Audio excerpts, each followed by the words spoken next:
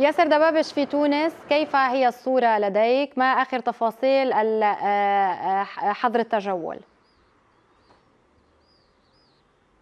هبة الصورة في العاصمة التونسية لا تختلف كثيرا عن عواصم دول العالم والدول العربية. نحن نتحدث إليكم الآن على الهواء مباشرة. انطلق منذ دقائق قليلة حظر التجول الليلي ويمتد إلى غاية الساعة السادسة من صباح غد وفق التوقيت أو حسب التوقيت المحلي.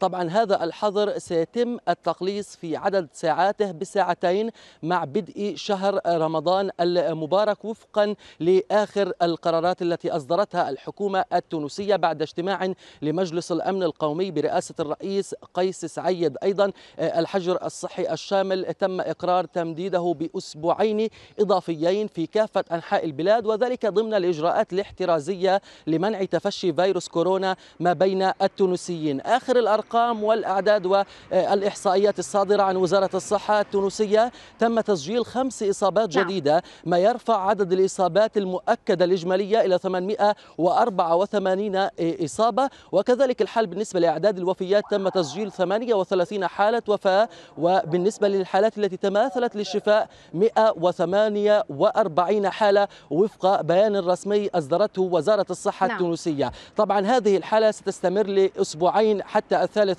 من شهر مايو أيار المقبل وسيتم التقليص في بعض الإجراءات وفقا لما أعلنه رئيس الحكومة التونسية إلياس الفخفاخ